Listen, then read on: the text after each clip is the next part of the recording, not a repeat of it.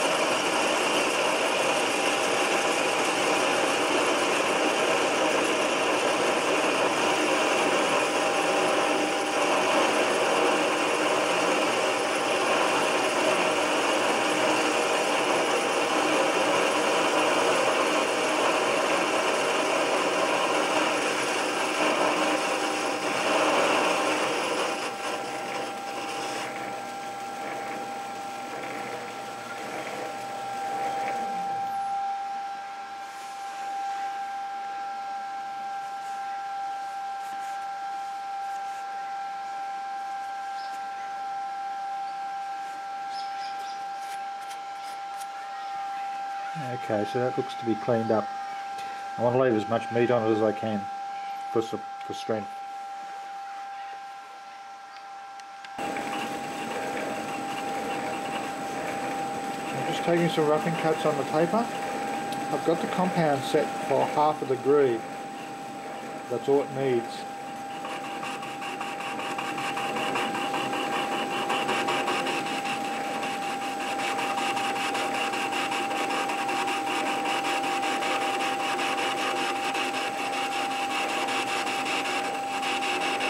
To use a combination of left and right hand cutting tools.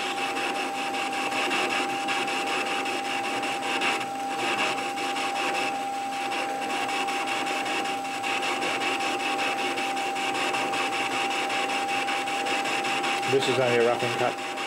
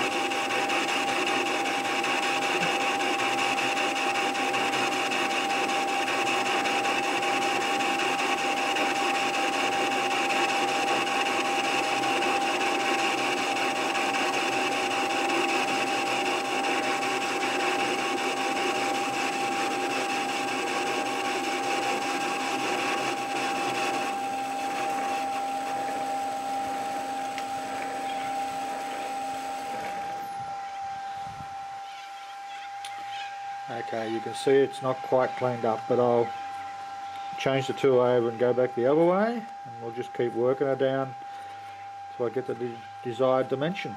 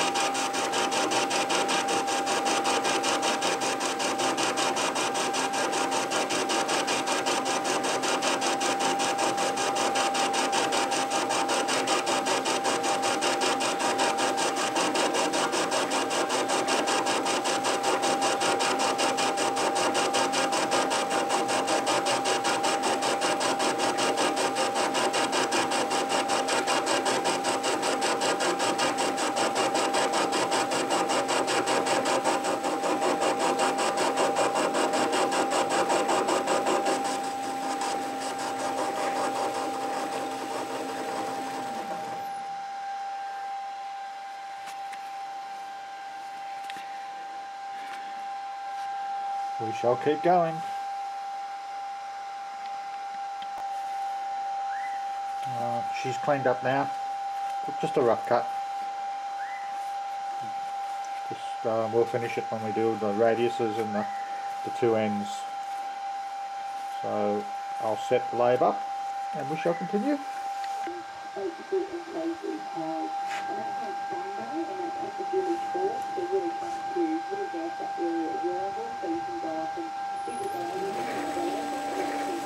I've just got a radius tool in the chuck. Unfortunately my battery's about to die on the camera. So I'm going to have to put it on.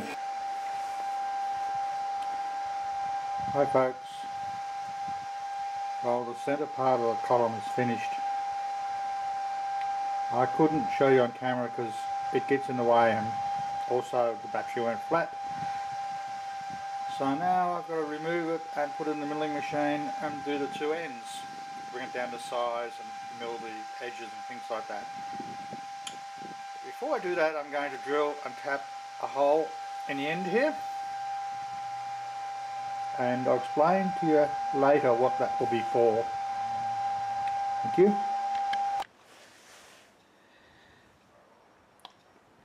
We're just tramming the vise up to the milling machine. This is essential with this particular part that I'm going to machine. It has to be nice and parallel. So just thought I'd bring you along.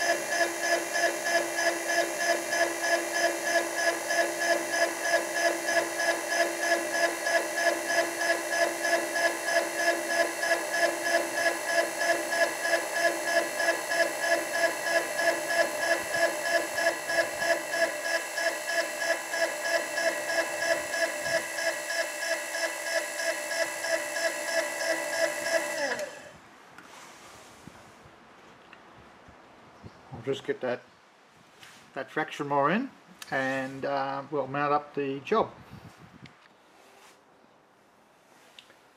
I've now set the column up in the vise one end and held by some packing one two three blocks and some parallels on the other end the main reason I want this to be as close as possible as these are going to be machined down to 2 inch. And when you measure them they are now actually 2 inch. There's no meat on them whatsoever. So I've just got to take a, as light a cut as possible.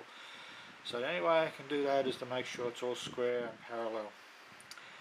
I'll bring you back when I start machining.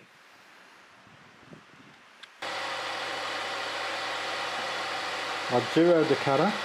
I'm just going to take extremely light cut, remembering that I have no meat on this whatsoever.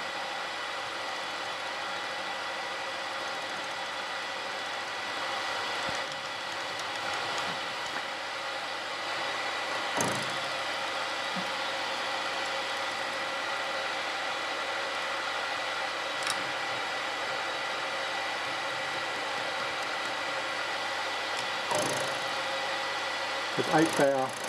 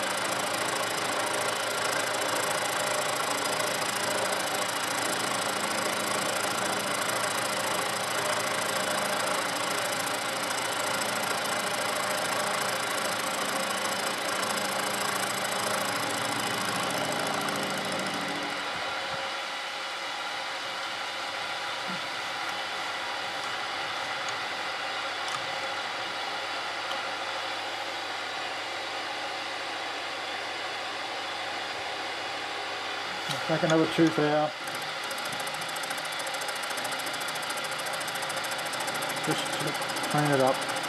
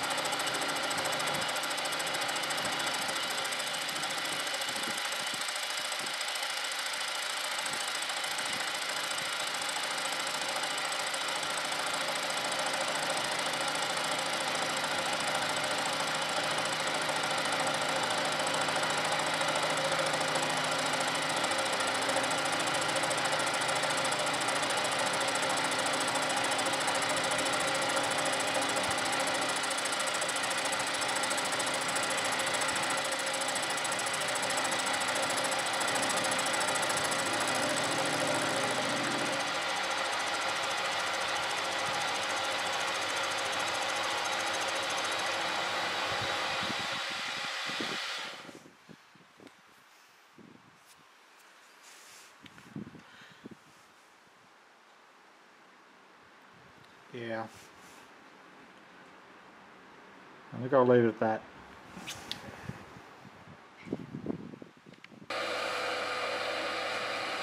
We're now machining the face. There's quite a bit to come off this, so I'll just show you one cut. I'm not going to show you an hour's worth of machining.